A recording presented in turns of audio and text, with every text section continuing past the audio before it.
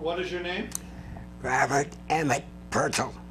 Okay, this is the biographical information on World War II Veterans Oral History Project.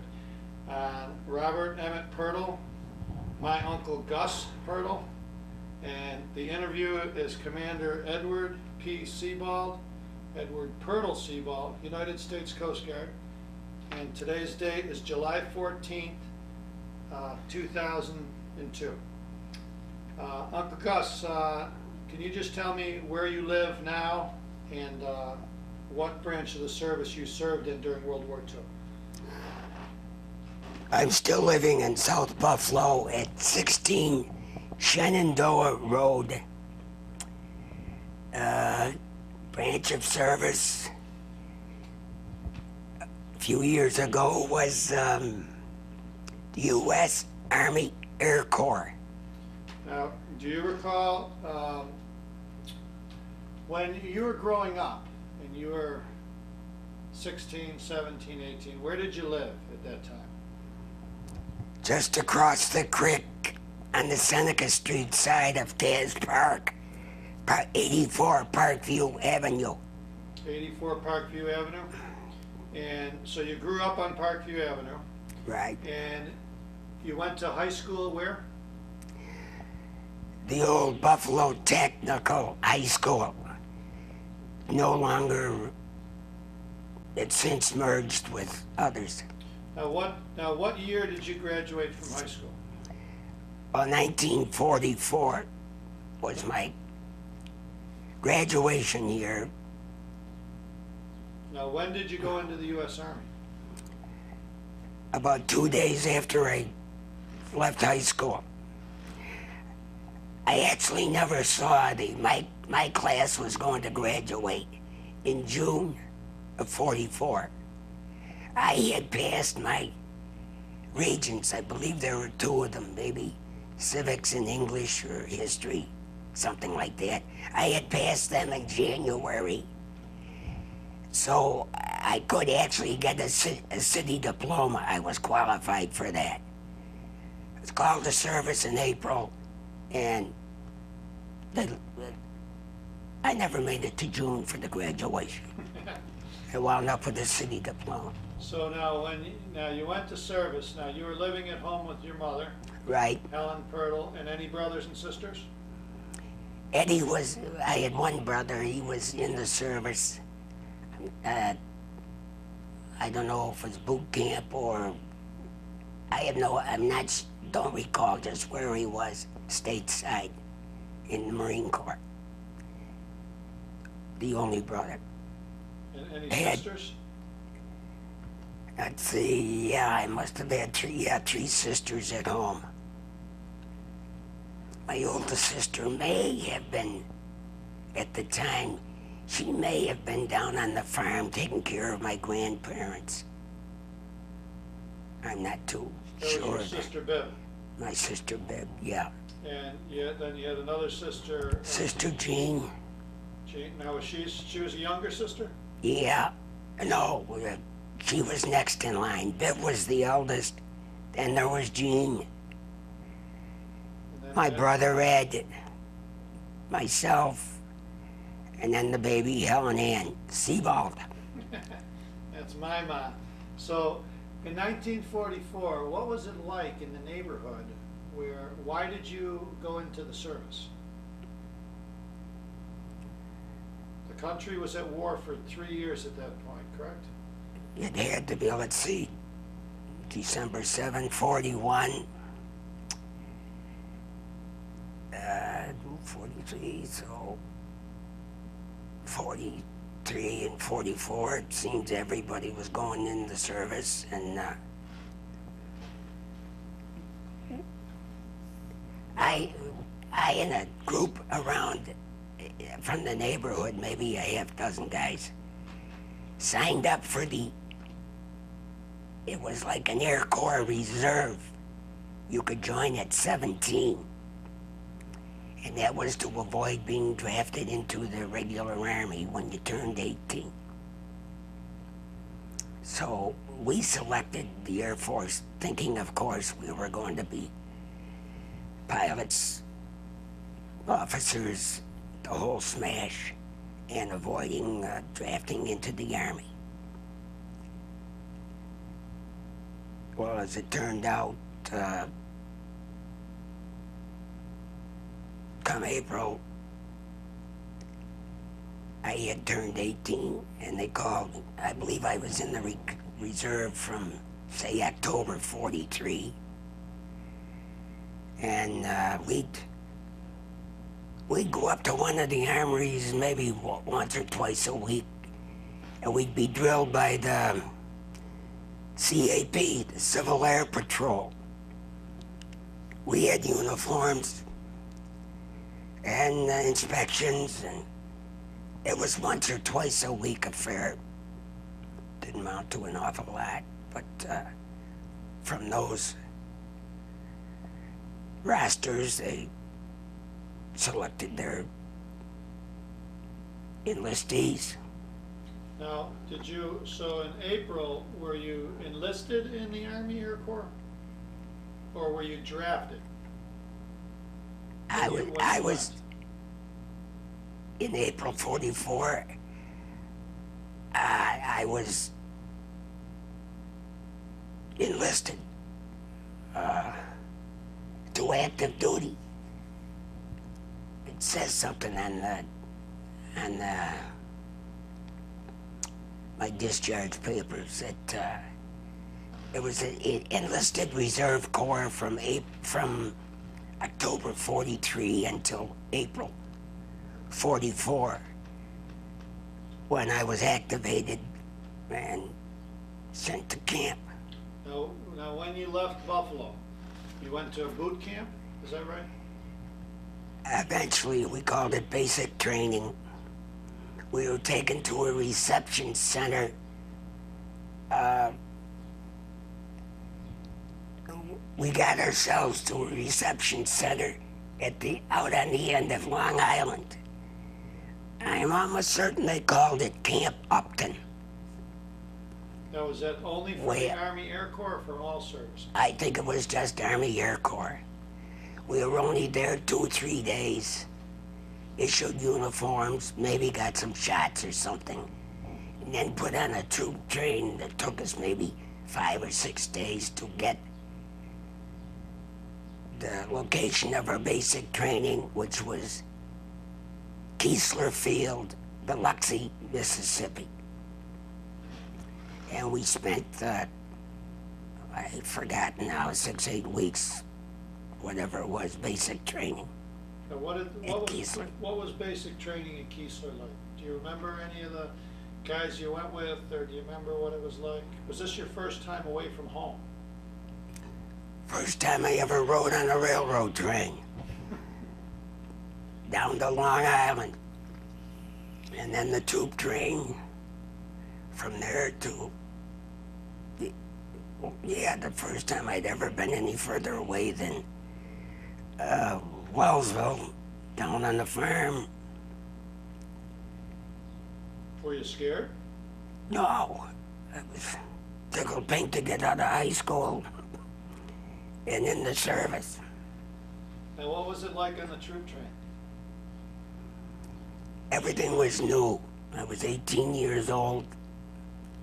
Almost everybody there was the same age, give or take a year or two. And uh, it was all new, everything exciting. Good food? Uh, no complaints. Now, now, so you had all your uniforms and everything in a sea bag or in a, uh, We're w- wearing wearing dungarees, and everything else was, uh, yeah, I guess you'd call it a duffel bag. And when we arrived,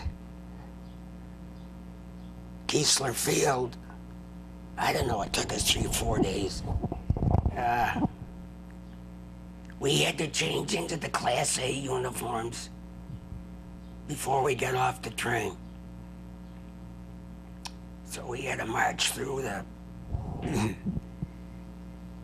the camp to our we went to a tent city and we had to march through in the, well, it was April.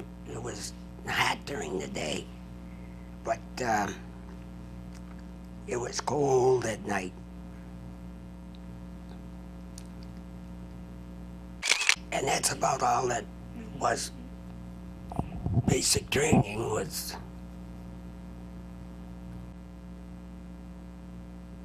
I'm sorry, that was, uh, timed out for some reason. Can you go back to Howard? What was his name? Howard Horn. Howard Horn. He lived in the Seneca Cazenovia neighborhood. and he and I took the same train. Geez, I can't think of the railroad station right now. Out of Buffalo? Yeah, it's it was across That's okay. across from Memo- from uh, the auditorium. Uh, And did he go to boot camp with you? Yeah, he, he was in basic training. It happened to be in the same tent. And, uh, I, uh, I had some trouble with, uh, with, uh, how the hell was it? Uh, oh, I got sick or something.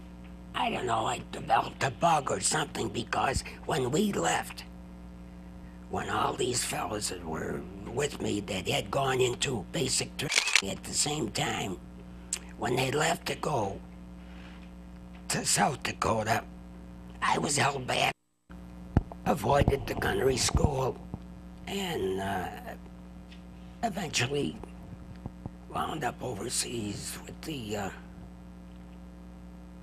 20th Air Force, flew nine combat missions got back to the States in one month and 26 days, and these guys were still in gunnery school. And the guy, the Vic, uh, Cleese and Howard Horn, they never left the States. They were still I in believe school. not. I believe not.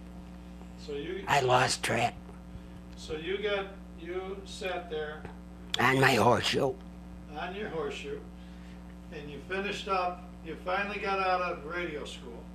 Yes, And then what happened? What, what was it like? I mean, you graduated, obviously. Right. A new set of orders. right. So then what happened? I'm not sure where we. I can't recall the towns, but I think they might have sent us to Kearney, Nebraska to select crews for the B 29 program. That was in the. I'm not sure. I, uh, I'm not sure now. I remember having been there.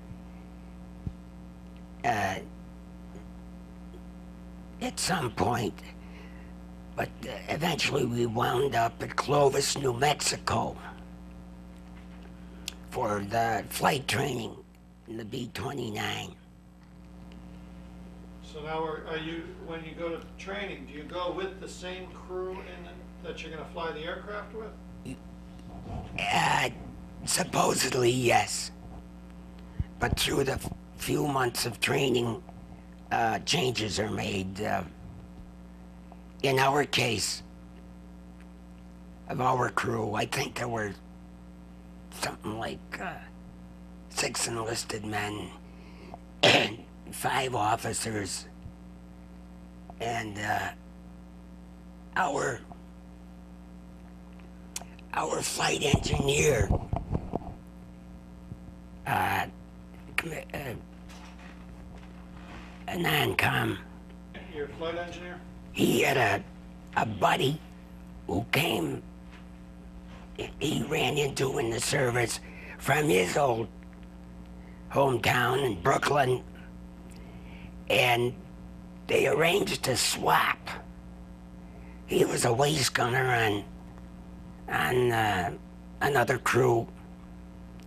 and our tail gunner wanted to get on that crew. So they did arrange a swap. So now we had the two buddies in our crew, but instead of the waist, he was. He had to fit his 200 pounds into the tail gun, of the B-29. Is it small? Larger than the older ones, but, uh, preceding planes, but, uh, well, they were small. I would have had no trouble back there. Would I? Oh, yeah, I think you would have had trouble. No, that, So what is this? So do you remember any of those guys' names, those, uh, the guys in your crew? oh, yeah. I've got a picture with all their uh, signatures on them, but, uh,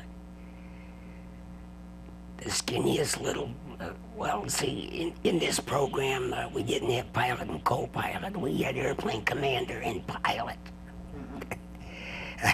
Those Oh, officers always yeah. have something. Our airplane commander was a Hector Doughty.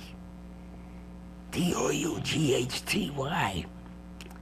And the, the, the guy had spent uh, time before as a flight instructor. And God almighty, he could land that plane. Sometimes I was on the radio asking permission to, during training, asking permission to land. And we're already on the ground. He could set it down like a feather. Many, many times. Uh, I could remember some of the other. I know Vinny Neefus was was that tail gunner I mentioned before. The big guy? Yeah. Uh, he wasn't overly huge, but he was a big man to crawl. He, he could get back there all right with his, his uh, I believe he had a chest pack parachute. And uh, he'd get back there all right, the tail. Uh, Dick Fleming was his buddy, the flight engineer.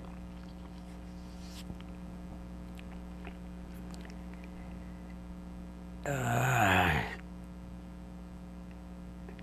was one of the gunners from Wytheville, Virginia. Now the name had come to me, but it's it's not. Uh, I've got them all on, on the picture Oh, no, or someplace. So you, how long, so you were at the, you're at flight school, or at, uh, B twenty-nine school? Uh, Yeah. Uh, what they say, uh, back and forth, uh, Clovis, New Mexico.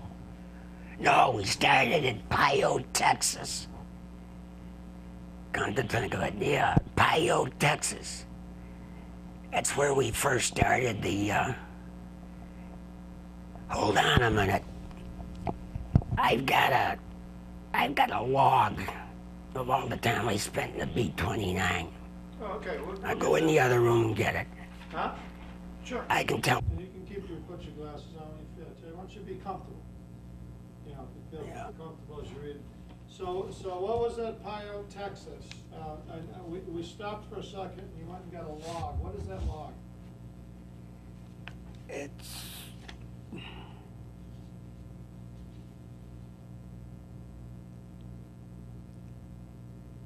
It's a uh, log of the flying time that I had in the B 29 Super Fortress, starting uh, at the base of First Training Rattlesnake Army Airfield, Pyote, Texas, which I guess is still on the map. I've seen it. So now, what was it Right. like when you're going up training? You're flying every day or you're flying often? I was thrilled to death. Yeah, generally flew every day. Now that that B-29 was designed for high-level bombing, which never quite developed. So we were up 30, 40,000 feet. I think the highest we ever went perhaps was 45,000 feet in training. The little combat that I did finally get to, uh, we didn't do that. We were a lot closer to the ground for our purposes. And what type of, in the B twenty-nine, what type of weapons did you carry? Remember what type of bombs or? What was so beautiful about the B-29. I believe it was the first military aircraft to ever be pressurized. We did not have to wear uh, the heavy uh, sheepskins that B-17s and everything before us were required to wear. Uh, we could fly in street clothes, in casual clothes, It was comfortable, it was heated. comfortable, was- heat, and of course we carried our, we had our jackets along with us, flight suits, but they weren't always necessary. We didn't have to be on oxygen at all times. We, we were pressurized. It was a beautiful feeling. So when you, so you, when you went and did this, this was a training in Texas. Yeah. So what were you training for? Were you training to work as a team? Were you training? as a crew, as we had, uh, well, take it from the front, the bombardier, behind him our airplane commander, the pilot, behind, behind, behind him, the, uh, facing forward, uh, the, uh, flight engineer, uncommissioned. Uh, and then right behind that, in many of them, was a, was the, the- well, like the nacelle or the working part of a, uh, uh, remote controlled four 50 caliber machine guns. And around the side of that was where I sat, radio operator, with my table and behind me, he had a window, the uh, officer, uh, the navigator. He was just on the other side of this, uh, this, uh, uh, gun, machine gun emplacement. He had a window, of course, and then right next to me was this tunnel, about thirty-six inch diameter, that ran, oh geez, I don't know how many feet, across the two bomb bays, the top of the two bomb bays, to the rear section, where the radar people and the gunners and the rest of the crew were. And right at the, the sit up in the end, I could sit up in the end of that uh, tunnel, and there was uh, an astrodome on top for the navigator to uh, shoot the stars or whatever the hell we had to look at out there.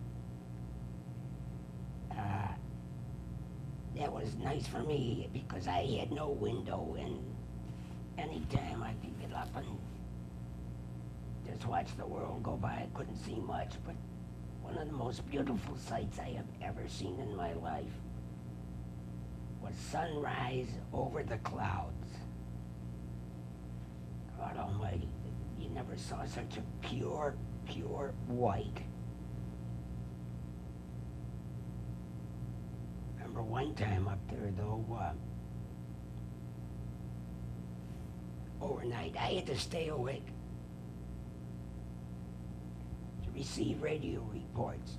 We had radio silence, could not transmit, but to receive weather reports every 30 minutes. And uh, one morning became dawn, and and uh, we're on our way back from uh, the Empire, and uh, I climbed up into this Astrodome to see what I could going on. I looked over to the left side. Jesus. Number one engine is feathered. I looked over to the right side. Number three engine is feathered. Well, I'm pretty sure somebody knows something about it. I didn't. Sure enough, running short of fuel. And I saw that both ends, uh, both engines shut down. But that's another story.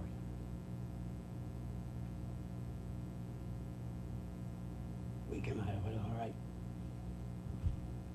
Quite exciting. We finally. I- I'm getting ahead of myself, but uh, normally, had we been doing it, we would have stopped at Iwo Jima to pick up uh, to refuel. But we were in such good shape when we left the target areas that uh, we shot a straight beeline for Marianas and for Tinian home base. So here we were without a, you know, up the creek, no paddle. Uh, had to just continue on toward the home base with our fingers crossed. And two Navy search and rescue planes following us. That was a little interesting to watch. We were ready to ditch. He was going to, commander was going to, he thought at first that if necessary, we would bail out and he would try to ditch it. Whatever, I don't know what the hell, a long time ago. But I knew these, uh, I think they called him a Dumbo. I think they called him a Navy Dumbo.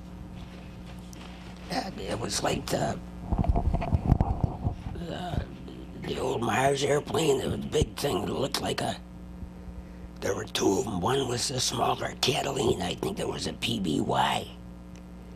Just waiting for us to hit the water so they could do their job.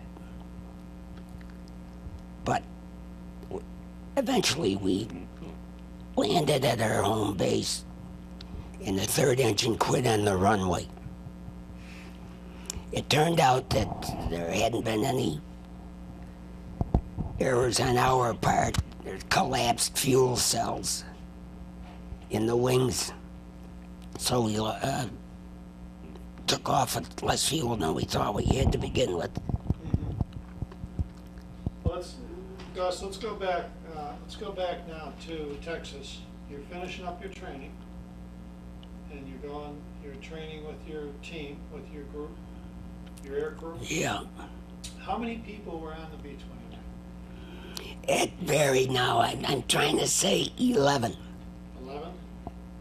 And you Like five, uh, five officers and six uh, enlisted men. And you were the radio operator. Yeah. Now, did they, the, the aircraft you trained on, is that the one, the same one you flew over? Oh, no. So those are just training ones? We're, yeah, we're, in fact, uh, whatever they had ready on the line, whatever the ground crews had ready on the line, even in training, we'd uh, Just grab- use, just grab whatever's available. Like cabbies at their cab stand, I suppose, in the morning. Except there's eleven people at the pile in. there. Yeah. Now, when you finished in Texas, now where did you go from there? I think that's when it was Kearney. I mentioned Kearney, Nebraska earlier. Uh, Okay, hang on, I'll give you a second. Okay, so you left Pyote, Texas, and, uh, now what? I'm just reading here. We went, we had a 10 day furlough, went home. It was in June. Now, I wanna know where you went on that furlough. Back to Buffalo So you finally for got 10 home? days. Yeah, it seems to me I'd been home before that too. But uh, it's not recorded here. This is just.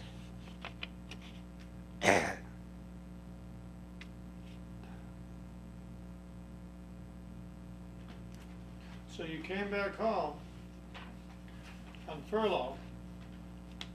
Now, did you come home in your, s- in your uniform? oh yeah. So what did the girls think of that?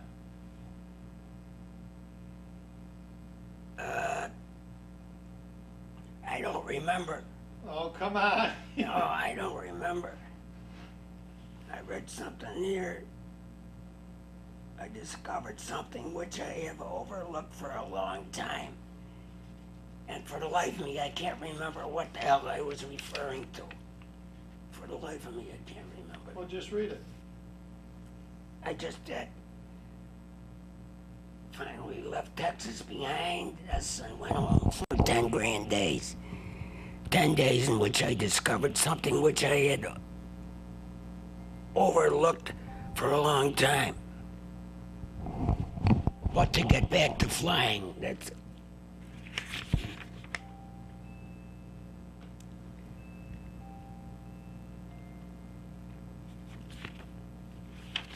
So when, yeah, Wait a second. I'm gonna pause it a second. Ready? Now, okay. So you had furlough and. Well, after that 10 day furlough, whatever, very vague in my mind, uh, somehow or other I got to Kearney, Nebraska. I believe that was the staging area, getting ready to go overseas. Because I see here we spent a little time there and uh, headed for Sacramento. And I remember Sacramento, California was was a kicking off spot.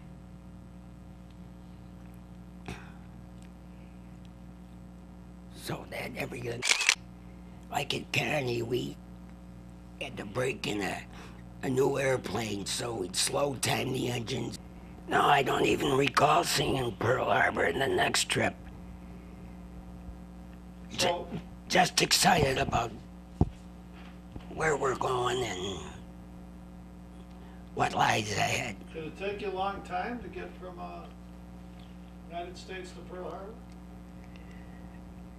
It's funny you should ask. 11 hours and 20 minutes That's what's good about having a log, huh? from from uh, Sacramento to John Rodgers Field in Oahu. Now, did they, uh, now how about from Oahu to Tinian? Well, we had to make a couple stops in between. That was June the 17th. I guess we arrived in Oahu. Now it looks here like the 20th. Yeah. Left Oahu. Headed for uh, a tiny island called Kwajalein.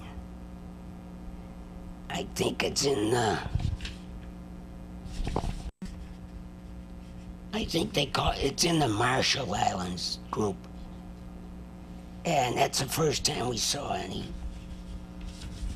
any sign of No, I can't say that. Uh, uh Oh, it's yeah, it's on Kwajalein that we found out we would be based on Tinian. So you went, and then you flew on Tinian? right, you arrived, Guam. mm. Took us 10 hours and 30 minutes to get to Kwajalein. We left there and headed to Guam alongside Tinian.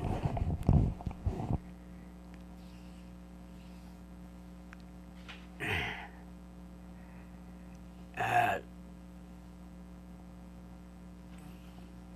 it was just seven hours to get to Guam.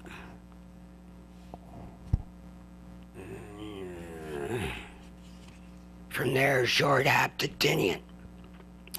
And we gave up our good ship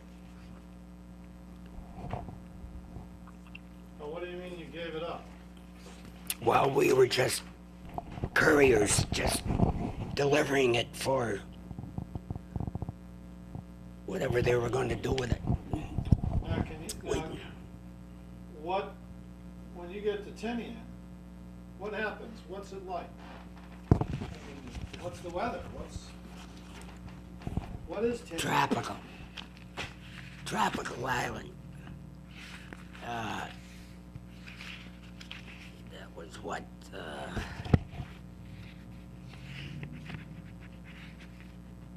the end of June. Of forty-four, or forty-five. Yeah, end of June 45. Uh,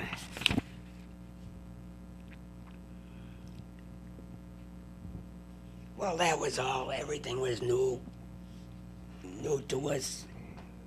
We were housed in Quonset huts. They, it was hot. They were hot. Now, what's a Quonset hut? Well, you, you've seen them around. Uh, they look like, uh, you know, what do they call that? Uh, that thing they came out with the skateboards and the snowboards during the Olympics? Oh, the This- pipe, half pipe? The half pipe. Well, you just take that half pipe and turn it upside down. The Quonset was, um, I don't know, maybe invented by a guy named Quonset. But it was just a galvanized steel half pipe upside down. so you didn't have any, uh, you didn't have your own room? No, uh, there could have been, well, say, say six men to a crew. There could have been, uh, four or five crews in one Quonset hut. So what did you have, a, a bunk? Yeah, A locker? a bunk, foot locker, and a bunk, and whatever else you could manage yourself. Any furniture you could pick up. No, there was dormitory style bunks next to each other. Air conditioning? no air conditioning, uh, well, any fan that somebody could get. As I recall, it was it was rather temperate. Uh, I don't recall really suffering from it, but I do remember they had. Uh, you'd be laying in your bunker playing cards or something like that, and of course we had cold showers, which were great, but they had to truck all the water in. Uh, I guess from a desalting, I don't know where they got the fresh water. But uh, tank trucks, water tank trucks would bring the water down for our showers in the latrine and so forth. And uh, they had to come down a hill and the Quonset huts were all running alongside the road up the hill. And all of a sudden, you'd hear the, the air brakes from the truck, and somebody would scream water. And that cry of water would go all the way down the hill. Everybody would grab a towel and run. Get in line for the water, for the shower. That, that was great. So you took the shower right off the truck? No, no, he, Did he fill a tank he, he filled a he filled an overhead tank, and uh, uh, we turned it on just like a normal latrine shower. Mhm. No hot water, but nobody could give a damn because didn't need it anyway. But and it happened once a day, so Oh, so we had good problems there. Oh, you go, yeah, Well, it was available. Right, how about, I think this is probably my all right, now you're on Tinian, you told me about the water truck. Yeah, that's after we were assigned to our our Quonset huts where we would stay. Um, but the first day or so in Tinian, we were in kind of a uh, uh, transfer section. Uh, we were housed in this uh, Guantanamo um, that was just for transients, as such as us. I went to the mess hall one morning, maybe the next morning, and uh, I was in line for coffee. And the guy behind me says, hey, Purtill. I turned around and I said, Jesus, Paul Murphy. He said, What are you doing here? I said, I don't know. This Paul Murphy was a buddy of my brother's. Uh, that age, he was two, maybe two, or three years older than I. And here he was, on Tinian, in this area, or in this squadron, or whatever it was. he had something like 23 missions. And uh, he says, Where are they going to put you? And I said, I, I said, I don't know. We're just waiting for uh, to be assigned as replacements. He says, maybe you'll come to our barracks. We've had a crew missing for two days. Sure as hell, about a day and a half later, or whatever it was, I wound up in the same barracks as a kid from Seneca Street. About a two miles from my home. And uh, we were bunk buddies there till I left. I left ahead of or for home. But How long that was was, he in did he tell you? well, he'd been there for 23 missions, I would say. It, it was, and I'm guessing at these numbers now too, but uh, he could have been there several months. Uh, yeah, he must have been there several months. I've since seen him at home here. Of course, he's up in years too. What else can we? So tell me, all right, so you told me about the water truck, I think that's fascinating about the, you know, the, the, the living accommodation. Now, Water. Where did you eat? How did you eat? What did you eat? What was it like, uh, you know, was there a chow hall, what was, on Tinian, I just can't recall. Uh, I can't recall if we used mess kits or not. what's a mess kit? Well, that's what the branches or the soldiers or would carry with them. A compact thing uh, opens up to, there's a handle that clasps off the top. Opens up to two dishes, like the cover and the bottom, one with a handle on it. And are you kidding me? What's a mess kit? You never saw one? Ah, geez, I used to have one here. And there's a, I think, a knife and a spoon and a knife and fork. So then what would you do? You'd go, I'm not sure. I can't remember now. well, I, I would think on Tinian. I would think that, yeah, there, there were mess halls. I'm sure there were. Because when we got back from a mission, they gave us fresh fried eggs, real eggs? real eggs. Only when you get back from missions. Everybody else probably ate powdered eggs or, or whatever. Well, then what did you eat when you were flying? You didn't eat for eleven hours? in the- Uh, yeah, we they packed lunches. Uh, geez, I, I find it. Know one time they tried to give you hot lunches. They set up some sort of a, almost like a, it wasn't microwave, but almost like a microwave oven that worked on electricity. That that didn't work very long, but still, to, uh, most of them were cold lunches, like maybe a piece of fruit and uh, sandwiches. Or, I'm not really sure. As a rule, your beverage was your uh, was your uh, canteen of water brought from home. I can't remember on the plane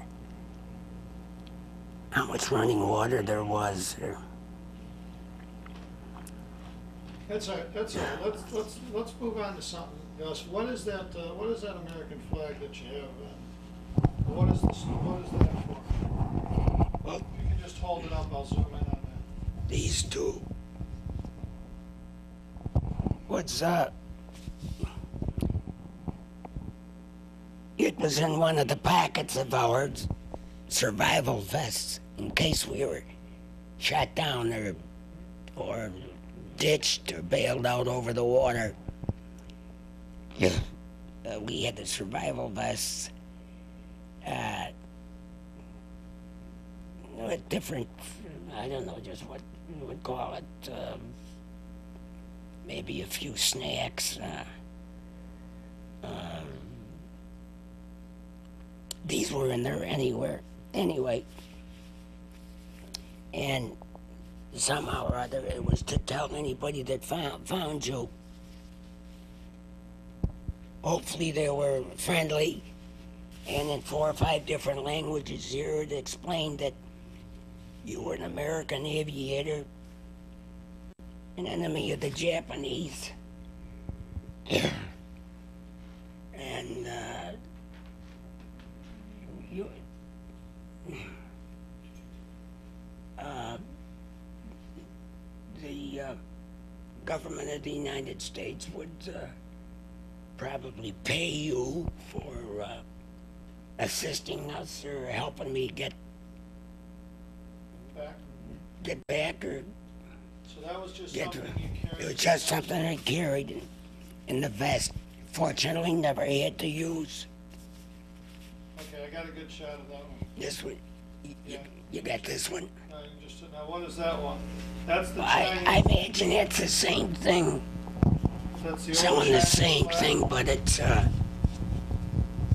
it was uh, in Chinese for well the years of the mid '40s. Well, there's a change in here too. That's okay, I just want to I just wanna capture that on, on the video. So now, how about these other two things, these other two items?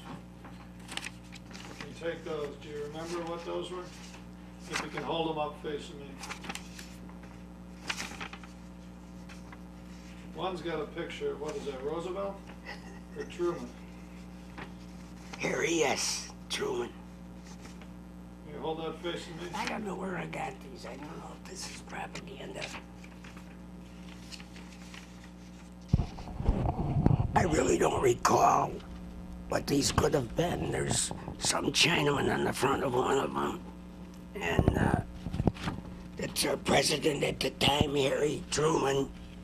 Uh, I would think,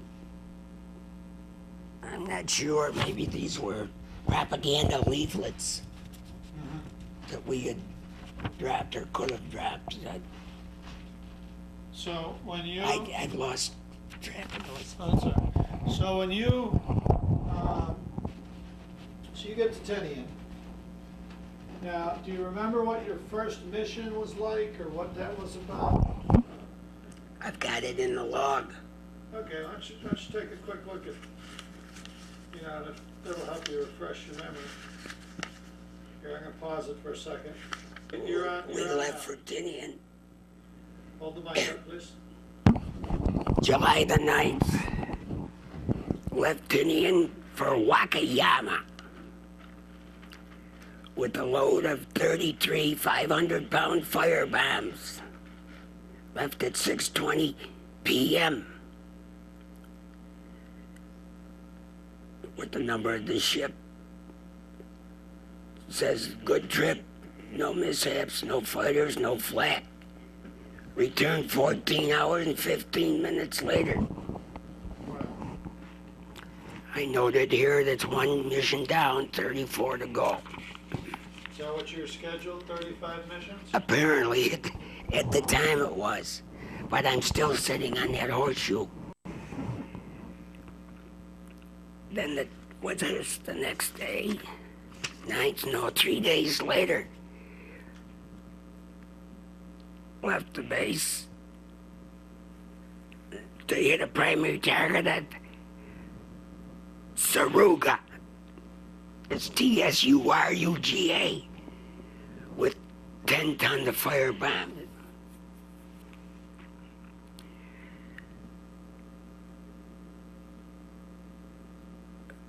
Yeah, 14 hours and 50 minutes.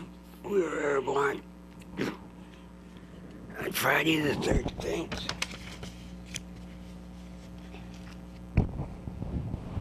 July 16th. Heading for Kuwana with 4,500 pound bombs, which is, yeah, fire a little flak, saw a few f- fighters. that was all. 13 hours, 45 later. Those are pretty much, I mean, those are just sterile log entries. Do you- Yeah. Do you remember anything about any of your missions as far as what it was like, uh, you know, being in the radio position? You can't see anything. No. Uh, in my, uh, uh,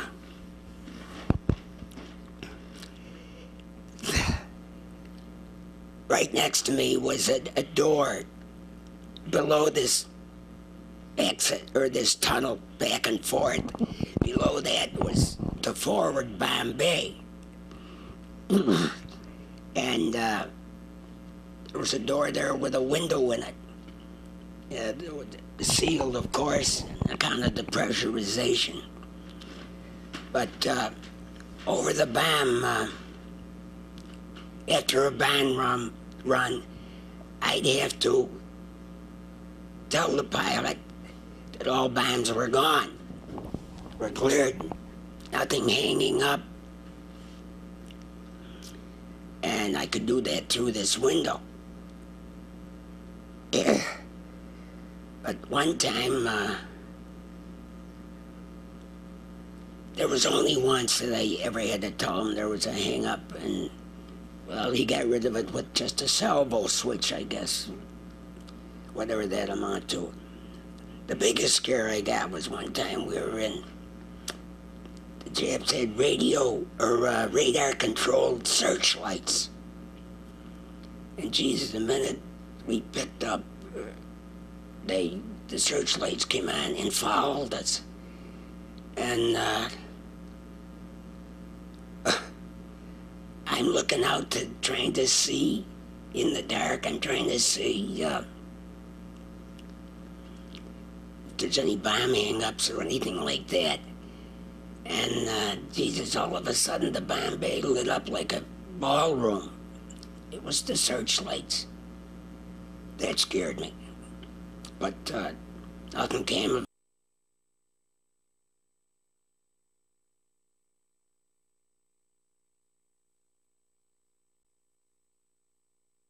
You ever attacked by any fighter aircraft? No, I think, along with that horseshoe, that they were pretty much. Maybe once or twice, but of course I couldn't see anything. I don't believe our gunners ever fired a shot. in the nine missions, I don't believe they ever fired a shot in combat. So these bombing runs that you went on, were they inside the Japanese homeland? Were they within? Oh, yeah, So you were actually bombing Japan at that time? right. All these towns that I mentioned, uh, Wakayama, they, these are on the map of Japan and the empire. Uh, we, one time we took up um, mines. We mined a port. Uh, it says here August the 7th. One, when was the atom bomb? That was around the early part of August, wasn't it? Oh, atom bomb. Yeah, August the 6th was Hiroshima. Nagasaki was the 9th. Now, in between those two, here's August the 5th.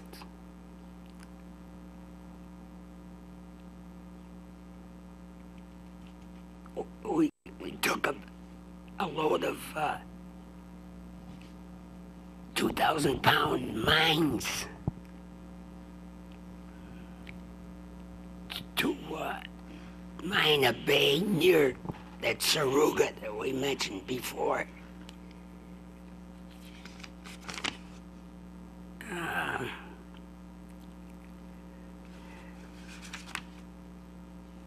That was the day before yeah, the bomb was dropped at Nagasaki. yeah, here's, and we knew, we knew nothing of that atom bomb drop. They used to talk about it. I, I believe, you know, the guy was up on the, I think, say in, say in the north field, and we were on the south field. So they flew from Tinian? Yeah, they did. And uh, we heard rumors that, hey, there's something going on over there. This is before anybody had an idea of an atom bomb. They said they're working on something over there in the North Field, whatever. That uh, one plane will take care of a whole squadron or something like that. And it was just scuttlebutt and uh, and conversation until it happened. Well, were you But nobody knew. No, no. We weren't anyway. I had no idea. I knew about. I probably heard about the results of the atom bomb in Hirosh- Hiroshima, or uh, the same way everybody else did. There wasn't any CNN then, Right. but uh, So after, just the radio reports. after the mission, back on the base, no one still knew that they just dropped a nuclear bomb? What? I can't tell you when uh, when we first knew of it. Here's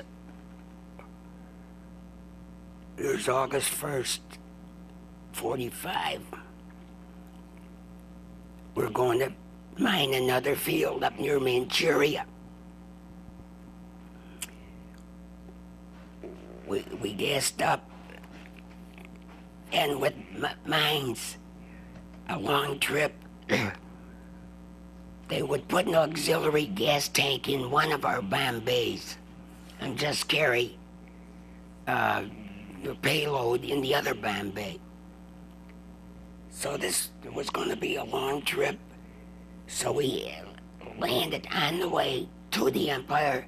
We landed at Iwo Jima for fuel and a meal and left there at 6.40 in the evening flew across the mainland to uh, this. We crossed the inland sea and dropped 12,000 pound mines in this field near, near Sashin. wherever the hell that was, near Manchuria. Uh, that was August the 1st. Oh, I made. I got my third stripe, made Buck Sergeant on the 1st of July. And that's, and that's where they ended. Now, August the 5th, we left the base uh, for this place near Tsuruga. Returned without any incident. An hour ahead of schedule. It's August the 5th. August the 7th. I don't make, have any mention of August the 6th. So you wouldn't even. August the bad. 7th, the day after we we went up to uh, up near the Shimonoseki Straits with mines again. Okay, hold on one second there.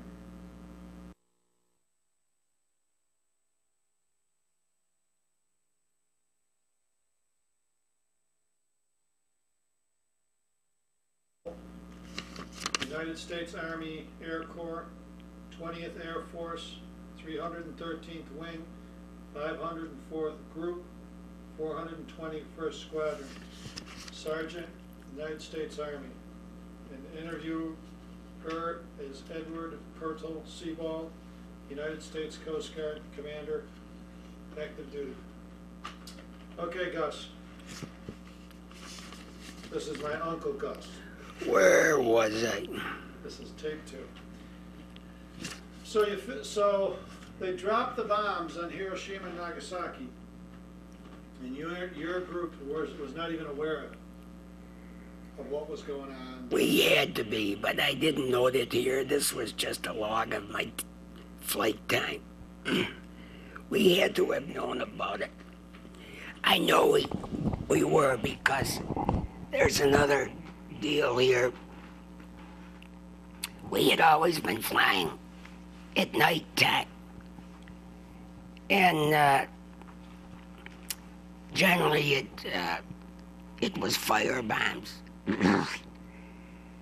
and I guess the weather was too bad for daylight formation raids like the, the 8th Air Force was doing in Europe. But the weather was going to improve in uh, over Japan or in that part of the world. So our crew was selected to go to a school for lead crew preparation for saturation daylight saturation bombing and daylight raids now referring to my horseshoe again there were two schools one was on the island of guam half hour away and another was in California, USA. Our crew was selected to go to California.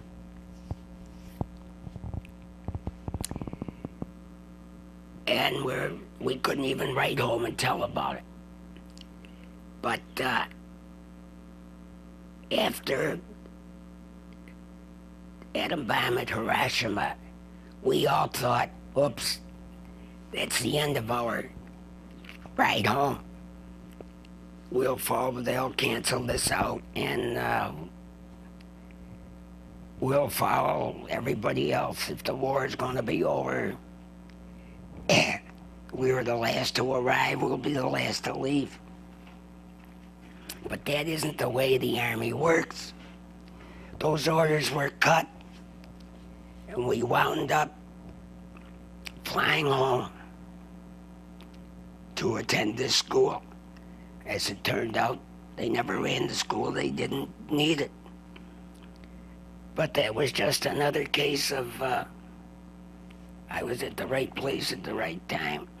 Well, how long after the bombs at Hiroshima and Nagasaki did you leave Tinian? It's right here. Uh,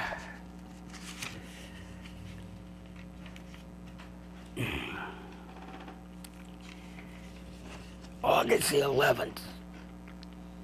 Hiroshima was August the 6th. Nagasaki, August the 9th. Here's August the 11th.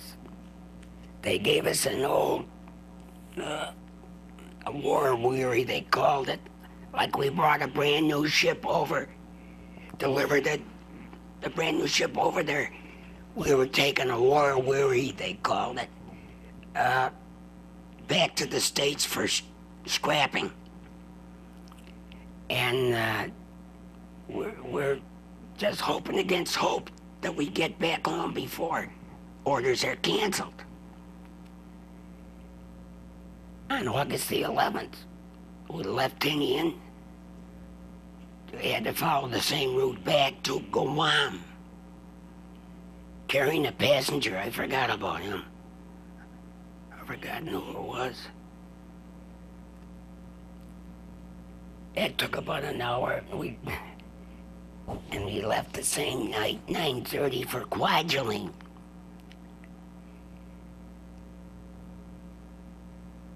Took seven hours. Did the passengers stay with you? I think he went all the way. I forgot. I wonder if he had anything to do with the bombs at Nagasaki and Hiroshima. No, I wouldn't think so. They were already dropped Oh, at this time. Oh, I don't know. What, what was the, uh, did you have an aircraft number that you were flying? No, they they always changed. I mean, like I said, whichever ship was ready, you took. Yeah, but in your log, you never, it never listed what the number was that you were flying? Oh yeah, yeah. When you left Tinian?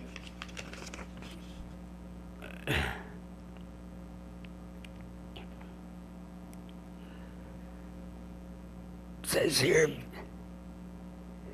I don't know, VG two nine three eight eight eight. That was the tail number? Or very, that's either a VG or a V6. Two nine three eight eight eight. So you followed the same trail home, Same trail. You got back to California?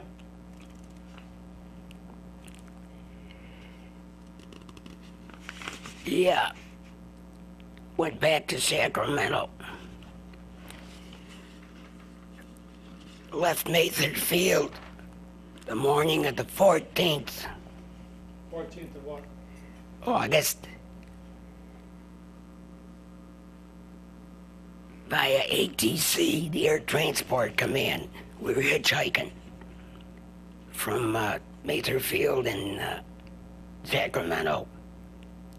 I remember coming across the northern part of the states. I think we stopped in Utah. Uh, I'm pretty sure we stopped at Chicago maybe flew over Cleveland, landed in Buffalo. Well, hold on, I thought you were going to school in California. Ah, well, there was a delay in route. This was before. Maybe they gave us 15 days to get to the school in California. It only took us five to get home, so we had 10 days. Delay in route, they would call it. It's Yeah, like a furlough. you went home for that time. Yeah, I, I flew all the way, and uh, I remember landing it. That had to be. Wasn't VJ night August the fifteenth? It may have been, I'm not sure. when they were celebrating. Uh, because I remember coming through when they, they uh, I don't know, Chicago or Cleveland or this, that. And uh, I remember landing in Buffalo, and I'm not quite sure where, but I think I walked down Cayuga Avenue or Cayuga Road. And at that time, um, there was a club out there, uh, Trap and Field Club, I think. And they were going crazy with celebrating. But I caught a cab. They took me to Parkview, carrying my bags and and uh, Who met you there? I walked up to the front door, uh, 84 Parkview, and rang the doorbell. I guess the dog barked or whatever. and I don't know, just. I don't remember what time. I know it was the middle of the night. And, uh.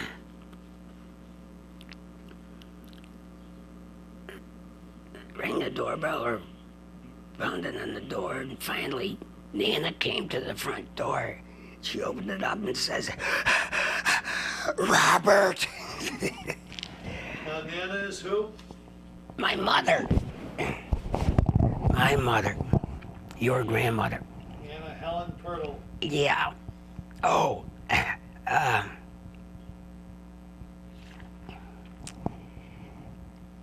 Did everyone wake up in the house? I can't remember who was there. This is the first she knew I was coming home. Before I left, I had sent a letter, but I beat it home. And I traveled those many miles. I, I don't know how many there were. I think it cost me a dollar and a quarter for the cab. Now, who was at home? Now, your brother Ed was at, he was still in the Marine Corps. I can't remember now. Uh, Helen Ann was a baby, yeah, well, she was still a teenager, right? 29, 39.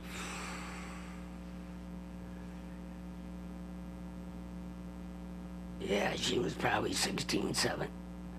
I think she's four years younger than I am. Now, when She was probably 16 or 17, So you had ten days home. What did you do on your something like that. Did you see old friends? Did you see old girlfriends? I really, I've really forgotten. Uh,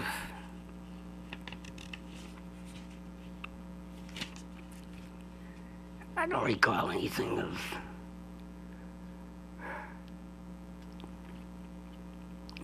Well, what was the neighborhood like?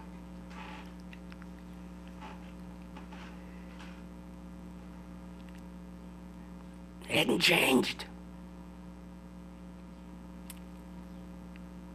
A lot of the I don't recall. gone, right? Oh yeah, Adam were gone. There Now, did you have only a few that we actually. I had to go back and report to this uh, advanced training school, this league training school, and I caught a flight back for that too. Or, or did we drive? That might have been the time that this Yeah, that might have been the time that this guy, uh, I don't know, he was a captain something or other. He went down through the list of orders, to the names. This might have been the time. And he called us up, he was going to drive back. We were going to Muroc Dry Lake, California, for this training and uh, he made a deal with me and some other non-com. Uh, we'd ride back. He bought an old Lincoln, and he figured on getting it out to California and making some money on it instead of taking the train or flying. That might have been the trip because. Uh, I don't remember all the details of that, but we drove and we took turns driving and finally got there. I think it seems to me though, uh, we were running out of money and borrowing from him. And it seems to me he came looking for me one time after we got to the base. I think I might have stiffed him out of eleven dollars or something. Never heard from him since. I think that's the way we got back. I crossed the country a couple times with that ATC. Go out to the airport and wait. When they'd find a, they'd get a cargo plane that still had room. All you were was 200 pounds, I guess. You were considered cargo. We could go practically any place, uh, well, the, wherever the plane was going. Now, what did you, so you went back to that school in California, the war was over. Yes, So then, how did they discharge you? we had to wait for the point system. There was a point system.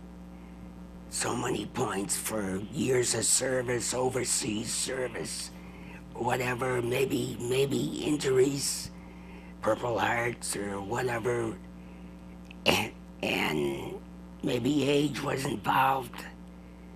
Uh, they had to keep you there until the point system worked down to you, so that they couldn't discharge six million people at once. So now, what if you wanted to stay in, in the service? Oh, they encourage that. All you do is what they call it, re-up or ship over. And did they ask you, did they ask you what you wanted to do? Why didn't you re-up? I wanted out. I wanted out. I, I didn't see anything that uh, excited me. And uh, I just wanted out. So when you, so they can't, how, how long after you went back to that school did it, your number come up? Uh, from uh, when did I get back there? Uh,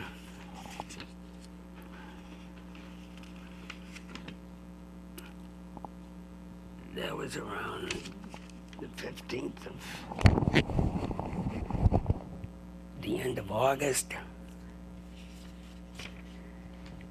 September, October, November, December.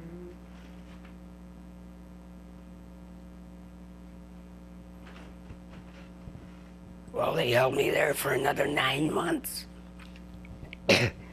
doing practically nothing. And what did you do? We swept the desert. We, we swept the sand in piles sometimes. They might send us to uh, classes to redo this relearn that. Uh, I really, I really don't recall. Uh, occasionally, they'd come. Some of the oth- other uh, crews would come looking for. it. They took, they took most of us off of flying status, which meant uh, on flying status you get base pay plus, plus plus fifty percent in your monthly salary. And well, after the war was over and this and that, most of the gunners uh, and maybe engineers were taking off flying status. But every every plane that flew had to have a MOS number, a radio operator's MOS number on their whatever you called it, flight plan. So they come around looking for anybody with a radio MOS number, whatever. They, um, say, hey, we're taking a flight to Florida. over the weekend. Would you like to go? Now they're they're flying for any other reason, but in order to, and I'm sure many of them, these officers were flying to get their flying time in, in order to get the uh, The flight the flight pay. Nothing's changed in fifty years. But they they come around and uh, uh, look you up as a radio operator. I took two of them, maybe, but it wasn't my cup of tea either, and I didn't trust them. I figured I came through what I came through with the crew that they have, and I just didn't care to fly with anybody else.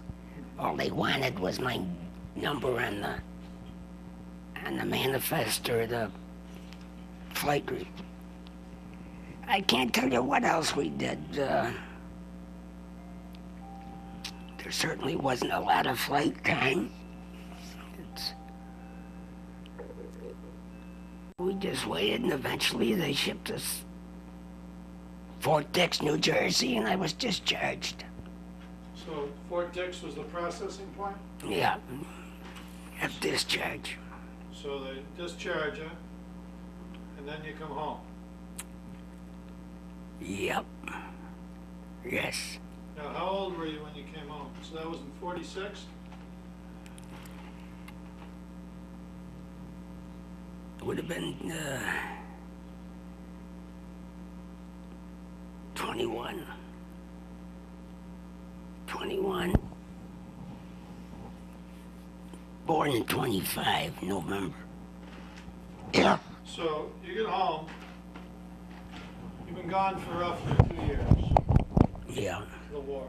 You come home, do you feel you were different? I mean, you went away as a kid.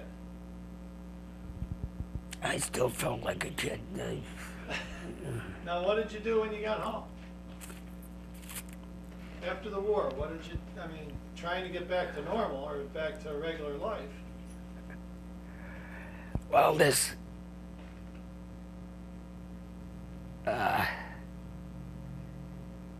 this buddy of mine that I mentioned earlier, Howard Horn, that I actually went down to, took the train, first train ride with, Right? and went through radio school with. He got a line on something, or his mother did. He was, uh, his mother was widowed. He was an only child. And she might have had something to do with telephone company because Western Electric, I think they're the manufacturing and maybe installa- installation branch of Ma Bell, Western Electric, were uh, hiring. They were changing all the old uh, operator lines to the dial system. And uh, they hired a half dozen of us and sent us down to give us a few days training here in Buffalo and, and then send us down to Elmira to uh, work as in the that was the first job working in the telephone offices, changing over from or putting in the dial telephone system. Mhm. That didn't last very long because in the fall of the year, GI Bill, we started college. He and I both were up at UB. And uh, so we were only in, in this Elmira gig for three, three, four months at the most. You started school in the fall of forty-six? It must have been. Now, did you finish Er, UB? Did you get? No, no. I had about two and a half years. I never really majored, and uh, in two and a half years' time, I I was married and raising children. So when did I you? dropped out of. When did you meet Maria? Well, that was Anna. Uh, I knew who she was. Uh, my kid sister, Helen, and her kid sister, Joan, were friends from school and this and that. I knew of her. And, uh, uh, oh, it might have been in 46, 47.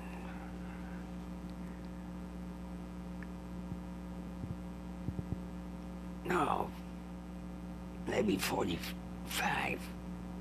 No, I couldn't have been. Uh, along through there.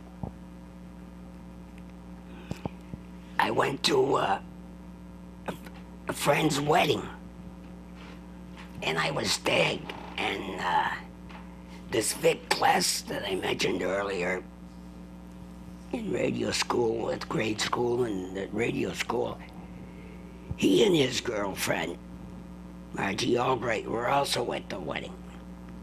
Well, I guess the reception was at the girl's home on Wyan Street, and uh, when it was all said and done, we are breaking up and going home. And Vic was driving his dad's car, and he says, uh, "Let's go someplace." And I said, ah, uh, Gus, don't you have a date? No. She says, I know. Let's go down to Sears. There was a Sears right on, on Seneca Street. Sears and Roebuck store. He says, she said, uh, Marie then gets off of work at 9 o'clock or 9.30 or something like that let's go see. I said, hey, I'm game for anything. That's the Purtill And, plot. and that's when it's, that's when it started. Uh, Keep talking. it's, uh, Margie called, Margie called, uh, Maria. And she said, yeah, she knew who I was too, but through her sister. But that's the first time we normally, we, first time we got together. Now, what did you, uh, so you went out on that date with Vic. Vic and Marge and Marie and I, yeah. So where'd you go on your first date? Oh, gee, I have no idea. Oh, come on. No. I'm your nephew. No idea. As a matter of fact, I had been imbibing all afternoon since the wedding, and I don't really recall too much of that. That, uh, So, so when did, I had a head start on Marie. so when did you get engaged? Oh, must have been four years later. And then you got married. Now, where was, you, where did you, what year, what was your, when did you get married? January 1950. We snuck away. We were going to get be married, and uh, Christmas time was pretty much of an engagement deal, and uh, figured we'd be married in the fall, late summer or fall. Well, then two of us decided they. Uh, let's do it this way. Well, I didn't have any money. But uh, we said, uh, we can elope. We didn't use that term, but we knew a priest out in Java, right out there in, I guess, Wyoming County. He had uh, baptized the two of us over in St. John's Church on Seneca Street, and he had since become pastor out there. We went out and saw him, and he says, Well, sure. He says, I can marry you. He says, But I'll have to tell Father Burnett, who was our pastor. Pastoral privilege, they call it. He says, but I had dinner with him every Wednesday night, no problem there.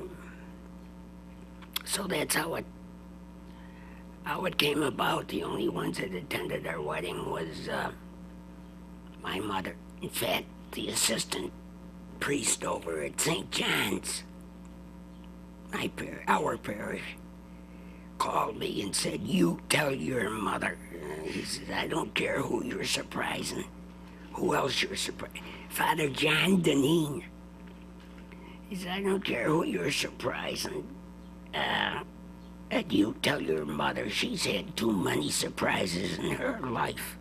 She doesn't need another one. You tell your mother. He didn't threaten me that, but he directed me to. So I did. And uh, that's all who attended. No brothers and My mother, no brothers or sisters. Uh, Marie's mother and dad. And uh, who the hell else? Uh, I don't know. So, So we came back from the. Uh, her parents gave us a breakfast out at. Uh, from Java. St. Patrick's Church in Java. G- gave us a, a breakfast for us at uh, Roycroft Inn in East Aurora. oh yeah, I know those. And then we came home to her house on Birch Avenue over here in West Seneca. And uh, then we started calling up all our friends. Then you had the party? Well, had a little party over at the house. We went on our honeymoon. And uh, maybe two weeks later, we threw a big bash reception up at the, uh, I don't know if it's still there or not, um, Grover Cleveland Clubhouse. Well, it's out now near where the Grover Cleveland Park is near uh, Veterans Hospital in Bailey Avenue. So you lived, so where did you go on your honeymoon?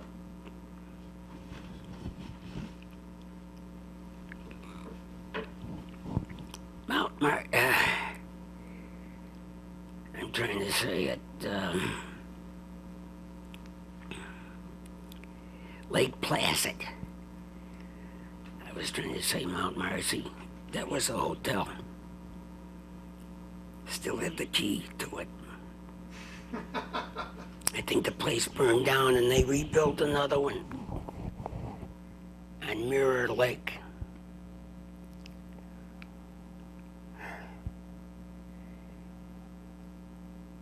Yeah, from then on, it was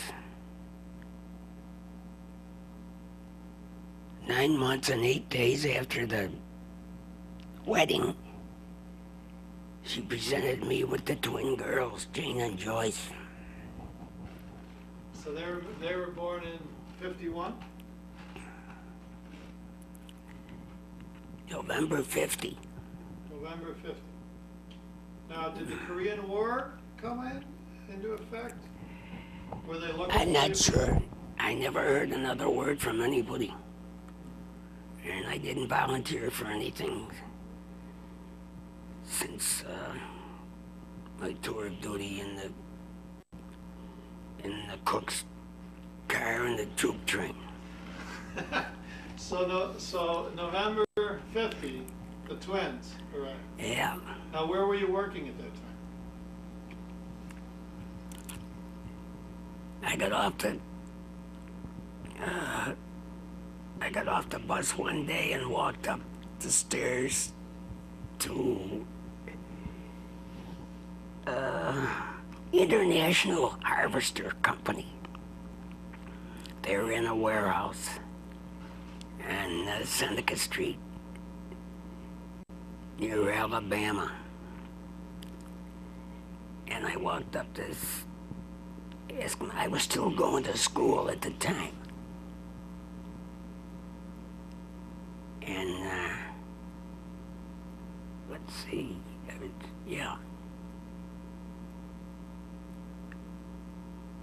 Yeah, International Harvester. You know what they are. the- So you started working there at the warehouse? No, in the office. He gave me a typing test, which was horrible. He says, well, there won't be much typing anyway. I was doing clerical work in the office. How did you stay with them? In Inventory. time? No. No, I think it was, it was after the twins were born. Or, uh, I can't. I can't remember where the hell I, w- I went from there. Well, when the twins were born, then who was the next child? Bob. Bob Jr. Robert Emmett Jr.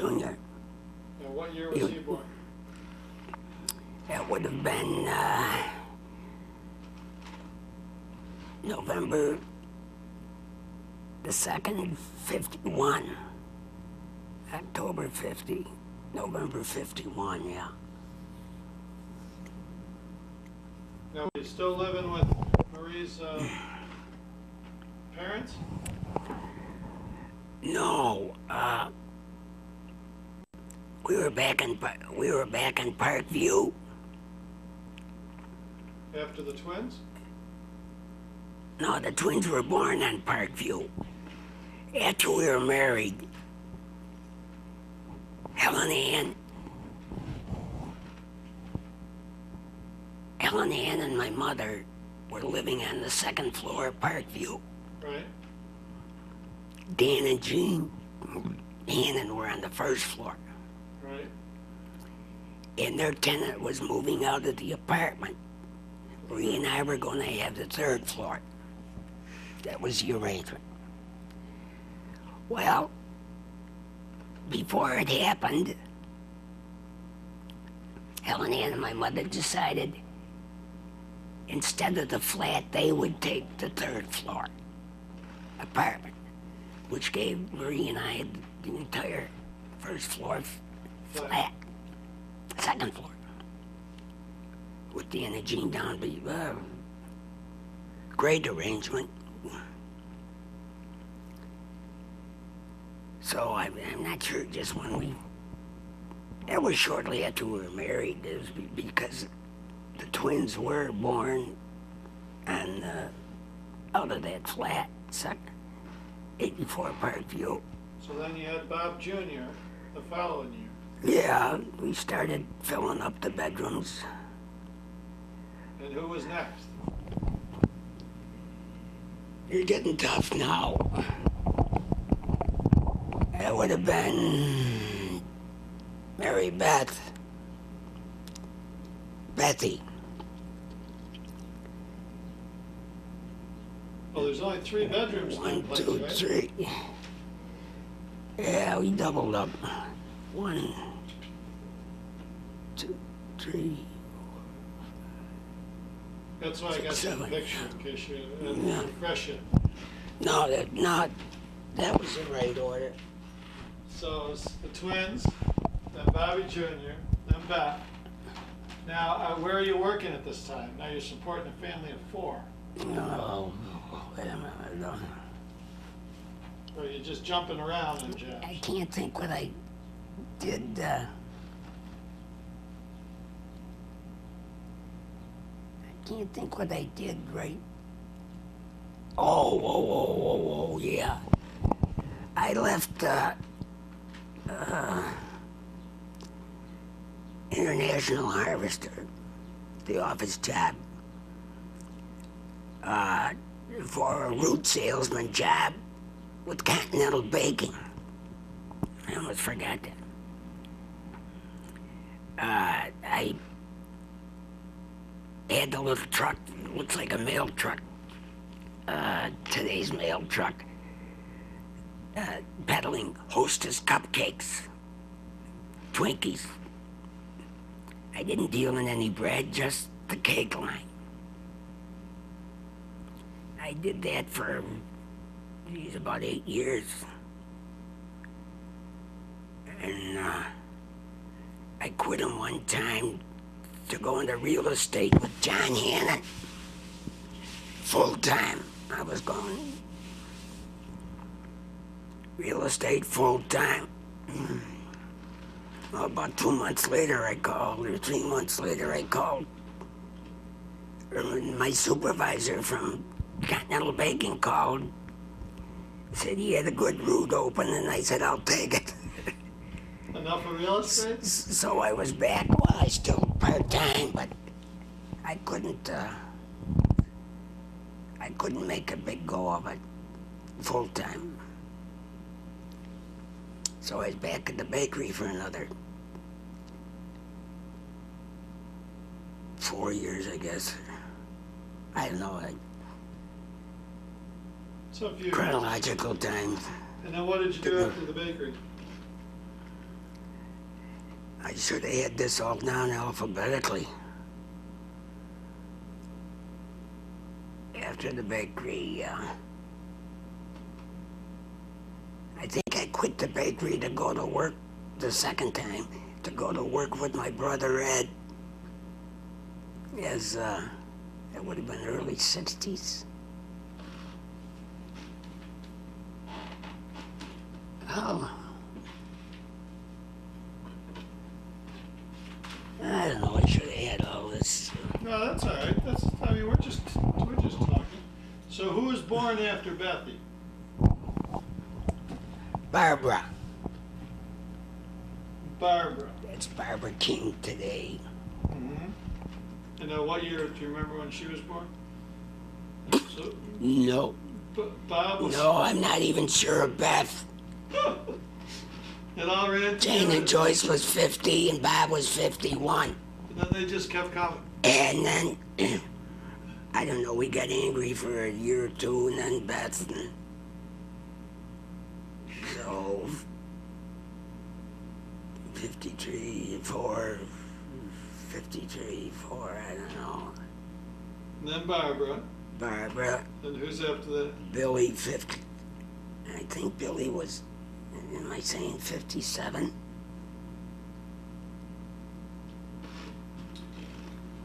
Fifty-seven, and then Michael six years later. Michael, six years later? Yeah, 63?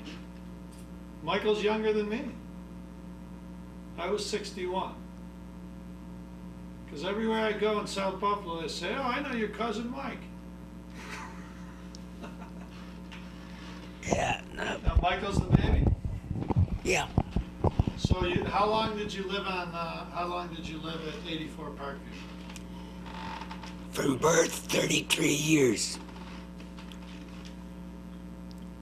Moved over to Shenandoah in December fifty-eight. Into this house? Yeah. That's right. 44 years. You've been in this house. It isn't dead yet, is it? Well, December. So, Yeah. Where Barb and Beth were born on Parkview? They all were, but but Michael had to be. Yeah. So it was getting a little crowded then. It was time to get a bigger place. Yeah. Right, right. Well, we were maturing enough too. We wanted a place of our own. And uh, my brother-in-law Dan Hannon was listing this property or had it listed, and I always liked the name Shenandoah. When we were kids, our cousins, the Starks, lived in Shenandoah, still do. And uh, when we'd come over to visit there, visit them for a Sunday dinner or a holiday or something, boy, it, this was really living. All the flat lawns, no hills. You mean that hill that you had on Parkview? Yeah. Mm. Flat lawns and, and just the name Shenandoah. I don't know. It, it sounded more poetic or something than Seneca Street. Or Buffalo? Or yeah. Buffum had a nice soft sound over there. So now, Dan, so your, so your sister Jean and Dan Hannon moved out. And then you moved out of Parkview? No, I think we moved downstairs. And Helen and Bud moved in, one of them, right?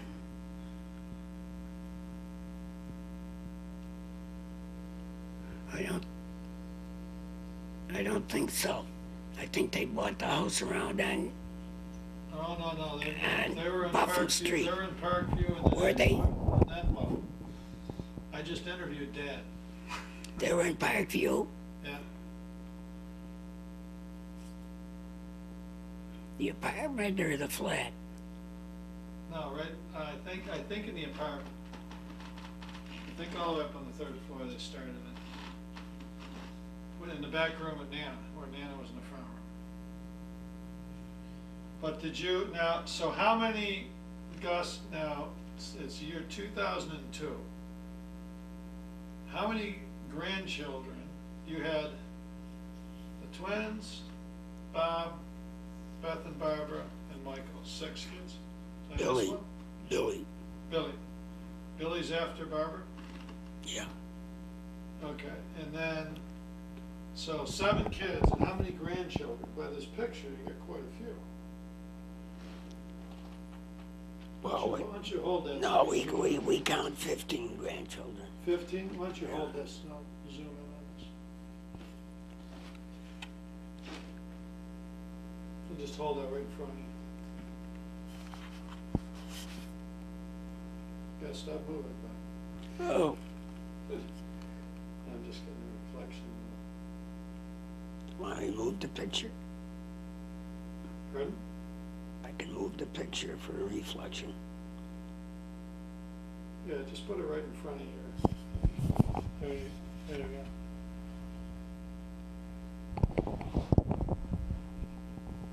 That's the whole family there. Well, yeah, and there's extras there too. Now they got extras too. Okay, that's good, you can put that aside. You got Ronnie's, Stanky's uh, mother in there. Oh, that's the only extra, I guess. Oh, So, Billy's ex-wife and his kids, or her kids. all right, why don't you put that down a second? And let me ask you, we're just about finished here. So if your rear end's hurting, that's okay. No, So, let me ask you, if you want to say anything to your grandchildren and your grandchildren's children about the war, about your life, about anything, what would it be?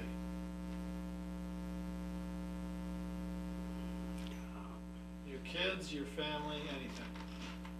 Because someday they'll have this interview and they'll just look at it. And the great grandfather they never knew. well, there's nothing very profound I can come up with.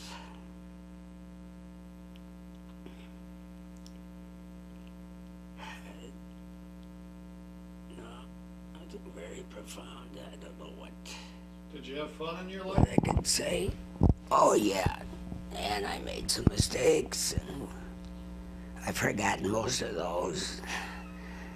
I've forgotten many of the good times.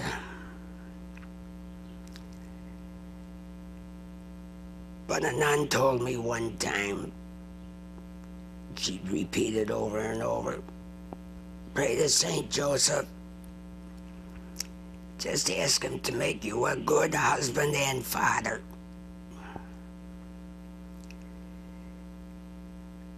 And I've tried to do that. Uh, but I've, uh, I give up, I, I've given up on the prayer end of it. I think about him occasionally, but I, uh, I don't do much praying anymore. But just try to be a good husband and father. Or a good wife and mother.